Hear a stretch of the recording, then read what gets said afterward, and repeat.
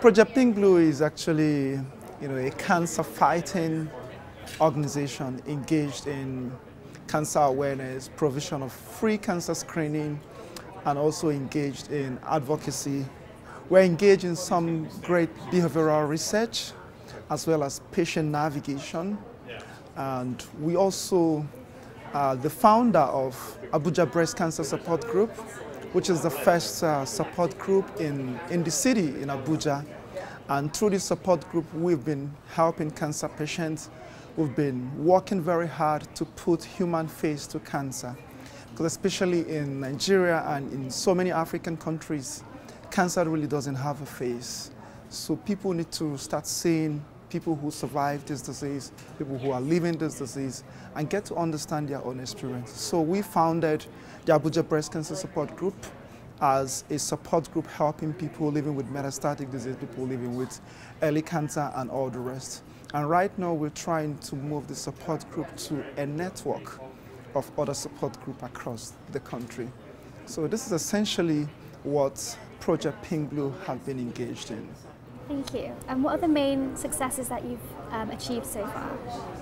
I must really say we've been able to really change the way so many Nigerians think about cancer across the country because we've had programs that run not just Abuja in the city, but also in Lagos, but also in Enugu, also in different part of the country. And we've been doing this through awareness. And we've really realized that you see, awareness are all over. People are really aware of cancer. Nigerians are aware of cancer. But the thing is that so many people are not accurately aware of cancer. These are two different things. You can really know or you can be aware that cancer is a killer disease. That's awareness, right? But if you are accurately aware, you will also know that people also survive cancer. You know your risk factors, you know about your family history, you know about what you need to do in terms of lifestyle changes and all the rest. So this is what we do, especially not just to create awareness, but to create awareness accurately, changing the way people think about cancer in a local and culturally adaptable way. So we translate materials, we work with Susan G. Komen in translating materials from you know, English to local languages as well. We've also done videos, you know, documentaries to educate our community about what they need to do. Some of the flagship programs that we've uh, really you know, done in the past that has really been of great and remarkable um, success have always been the World Cancer Day. So every year we mobilize over 5,000 people to walk on the streets in Abuja as World Cancer Day and then in, in Lagos as Pink October. And it has been really been remarkable because many people just look forward to it. Many people have used the World Cancer Day as their own annual screening, you know, because we don't have national screening in Nigeria, so people have to rely on sporadic screenings to really be able to get uh, you know, screened for cancer. And another very remarkable success we've achieved is when we implemented the Upgrade Oncology.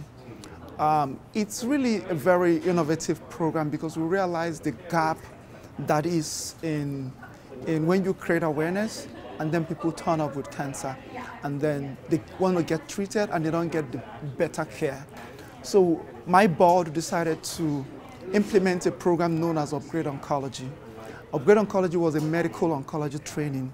So instead of taking Nigerian doctors from um, Nigeria to the US or to Europe and otherwise, we actually brought the American doctors from US to Nigeria because it's, it's, it's more sustainable, it's, it's more it, it, gives greater return on investment.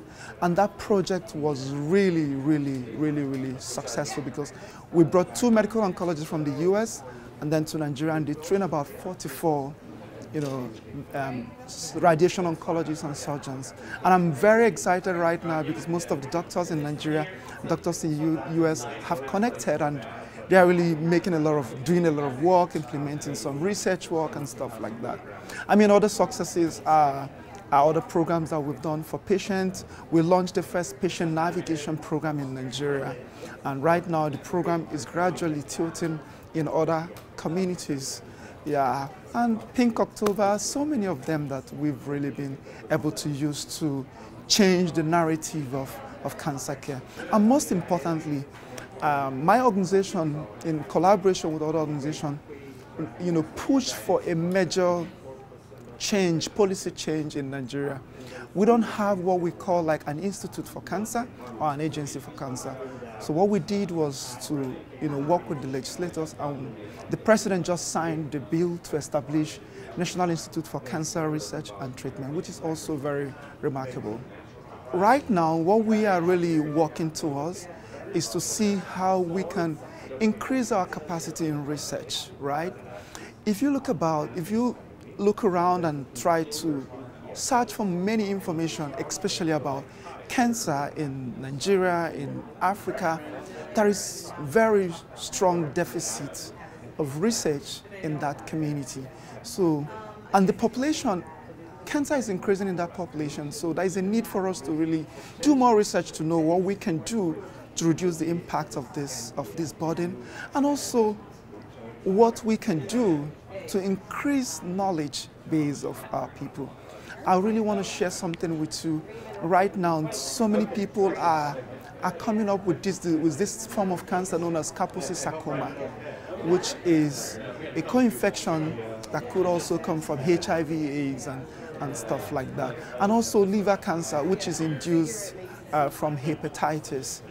And so these are very strong areas that we need to do research on and get to know what we can do to reduce this burden.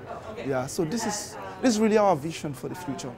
One thing I would really want to say is, um, if you look at how, if you look at, look at like maybe statistics, look at cancer registry in the past, you really see that when you compare cancer burden, when you compare cancer burden in Nigeria and in some African country several years ago and you compare the burden this year and you look at the burden in other part of the world, especially in some Western countries, you realize that cancer burden is really high in so many Western countries.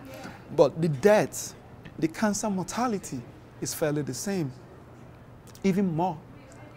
So that's really to tell you the deficit in screening, in early detection, and you know, in treatment outcome and you know, capacity of the professionals, you know. So these are really very strong issues and I think it's, it's not just a challenge for just for people who are from Nigeria, but I think it's a global challenge. We can't be talking about global equity and access to medicine if we don't consider also other people who are you know, in low and medium income countries. So I, think I also want to make a call to everyone, you know, scientists, pharma companies, everyone, to really understand that for us to achieve global equity in healthcare, we have to consider people also living in low and medium income country. You see, a breast cancer patient in Dallas and a breast cancer patient in Lisbon and a breast cancer patient in Lagos is the same. The only difference is having access to care you know, being able to afford this care and availability of this care, you know. And this is what we need to close if we really want to make global difference in cancer care. Otherwise, people will continue to die, you know, of this disease.